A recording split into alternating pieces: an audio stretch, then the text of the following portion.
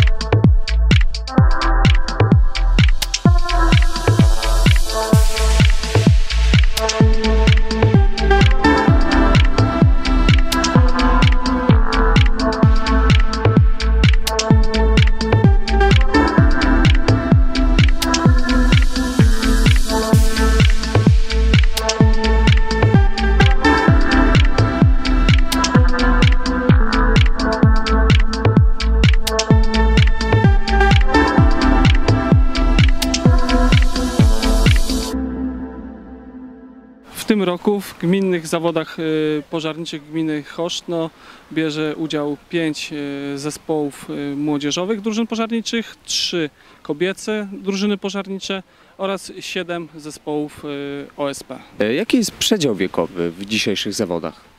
Y, W zawodach młodzieżowych mogą brać y, udział dzieci w wieku od 10 do 16 lat, natomiast w zawodach seniorów mogą brać osoby, które ukończyły 16 lat. Jakie są ogólnie konkurencje w dzisiejszych zawodach? W kategorii młodzieżowych drużyn pożarniczych y, pierwszym ćwiczeniem jest ćwiczenie bojowe, a drugim sztafeta 400 metrów z przeszkodami. Natomiast w zawodach y, seniorów y, jest sztafeta 7 razy 50 metrów z przeszkodami oraz ćwiczenie y, alarmowo-bojowe. E, W jaki sposób e, ocenia się młodzież, która bierze udział w zawodach?